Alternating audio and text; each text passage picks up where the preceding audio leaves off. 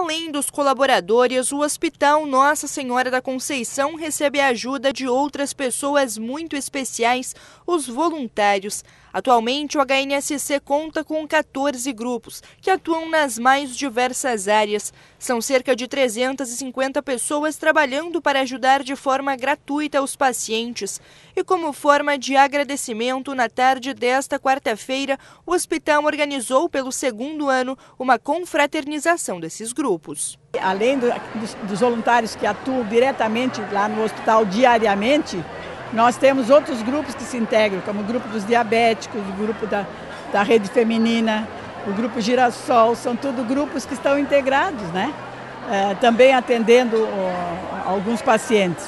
Então, as necessidades dos pacientes, tanto da área espiritual como material, é, os voluntários estão atentos, eles estão sempre em função dos pacientes, principalmente dos pacientes do SUS.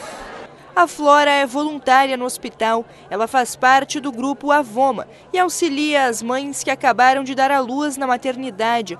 O grupo existe há quase 30 anos e ela está lá desde o início. O trabalho voluntário é aquele trabalho que tu tens a recompensa na hora, imediata. Né? Então, ser voluntário é um trabalho que tem um, não, não, não tem pagamento para isso. É prazeroso. E, e, ser voluntária da Voma, maior ainda prazer, porque tu visita um recém-nascido, é vida. Não tem tristeza. O nosso trabalho é prazeroso fazer. Todos os grupos estiveram reunidos no Clube 7 de Julho para celebrar o trabalho prestado em 2018. Quem também contribuiu com a história do hospital neste ano foi o grupo de voluntários da Oncologia. Essa doação ela só é feita através de um, de um bazar que nós fizemos de dois em dois anos, né?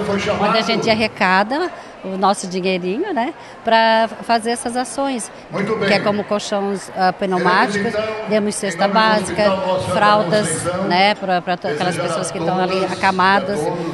Também damos o Vonal, que é um comprimido para enjoo, que ele é mais potente, ele é melhor, né, para aquelas pessoas que fazem a quimioterapia, que têm os seus enjoos. Cadeiras de roda, esse mês até a gente doou três cadeiras de rodas.